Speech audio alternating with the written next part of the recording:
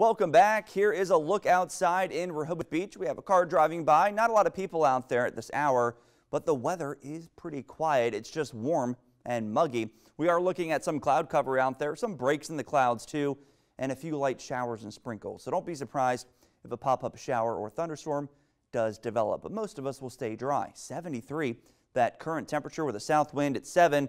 Across the east coast, still warm and muggy, but it's cooling down in Pittsburgh and even Alpena. 50s and 60s, and that's because they're behind a cold front.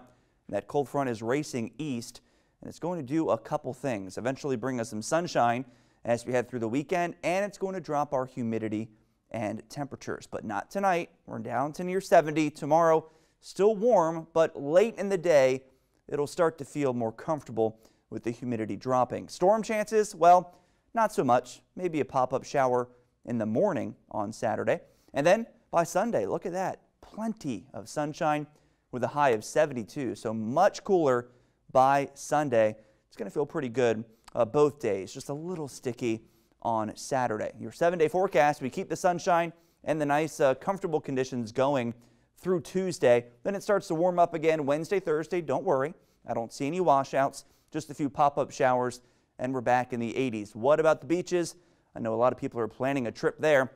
We're looking at a lot of sunshine, especially Sunday through Tuesday, with temperatures warming it up back into the 70s by the middle of the week. Guys? Thank you, Daniel. Before we go, Brandon, we've got one more order of business. Of course, our senior spotlight. That's right, Trey. This week we're highlighting Kent Island senior Emily Blum.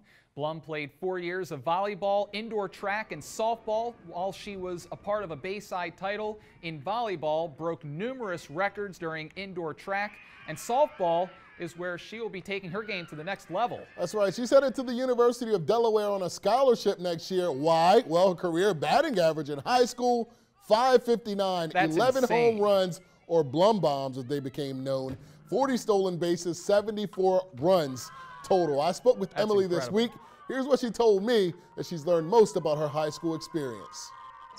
I think just remembering to be thankful for everything and just every day, like remembering that everything that's given to you is a gift and that you shouldn't take it for granted because like nobody was expecting this. Like I thought that I would just go back to school in the next two weeks that we were supposed to be out, but it didn't turn out that way. So I guess just living every day like it's a gift. And I just enjoyed it all so much. And I'm so thankful for my experience at Kent Island.